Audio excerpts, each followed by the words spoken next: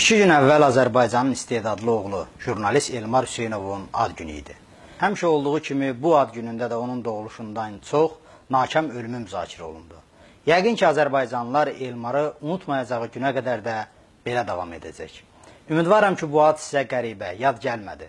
Mən Elmar Hüseynovdan danışıram. Monitor jurnalının baş redaktoru. 2005-ci ilin martında evinin önündə namərtcəslə günlənən və qatilləri bu gün də azadlıqda gəzən Elmardan. Nə qədər ki, onun qatilləri tapılıb ədalət məhkəməsi önündə dayanmayıb, Elmarın qanının İlham Əliyev üsul idarəsinin üzərində olduğunu kimsə dana bilməyəcək. Elmar ölümündən əvvəl Azadlıq qəzetinə müsahibəsində Heydər Əliyevdən fərqli olaraq İlham Əliyev barəsində çox ciddi tənqidi məqalələr yazmaq fikrində olmadığını demişdi. Təxminən bu cür.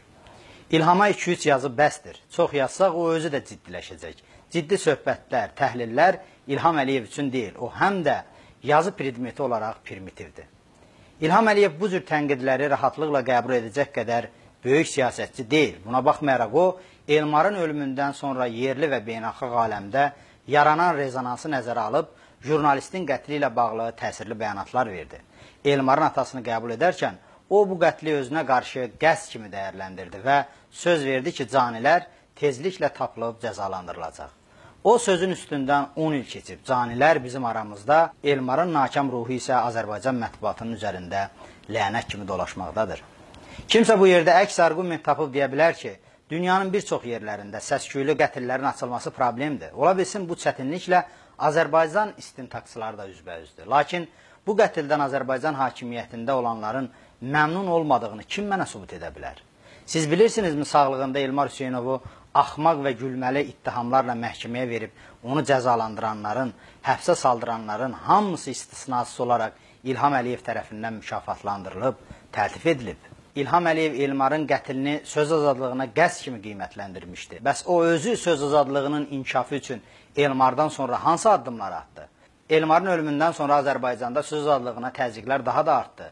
Jurnalistlərin, blokçuların həbsi daha da artdı və Azərbaycan Avropa məkanında türmədə ən çox jurnalist saxlayan dövlət oldu. Elmarın ölümündən sonra onun jurnalist həmkarları Elmarın adını əbədiləşdirməkdən ötürü müəyyən təşəbbüslər göstərdi. Lakin bu təşəbbüslər həmişə hökumət tərəfindən eşidilməz oldu. Bu gün də onun adına nə bir abidə var, nə də onun adını daşıyacaq bir küçə lövhəsi. Bu fakt avam adamlar üçün də çox şey deyir. Bu faktlar bir daha göstərir ki, söz azadlığı ilə düşmənçilik aparmaq Əliyev hakimiyyətinin mahiyyətindən qaynaqlanır. Ona görə də bu hakimiyyətin zamanında Elmarın qatillərinin tapılıb cəzalandırılmasını gözləmək sadəlövlük olardı. Elmar monitor jurnalını çıxardırdı. İllər öncə Əli Kərimli maraqlı bir müşahidəsini danışmışdı.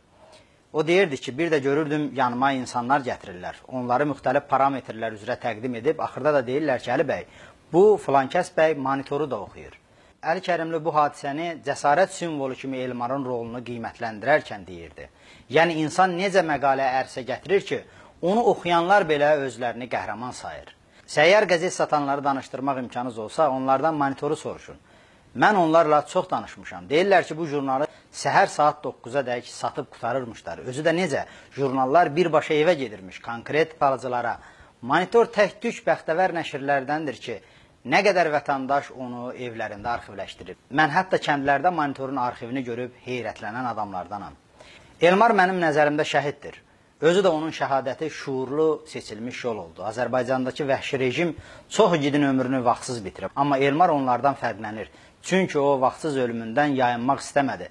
Dəfələrlə öldürəcək mesajı alsa da bunu vecinə almadı. Düz bildiyini yazdı. Elmarın ölümü bioloji baxımdan bir fərd, ata, valideyn, dost kimi nakam saysam da bir jurnalist kimi onun ölümünü nakam saymıram.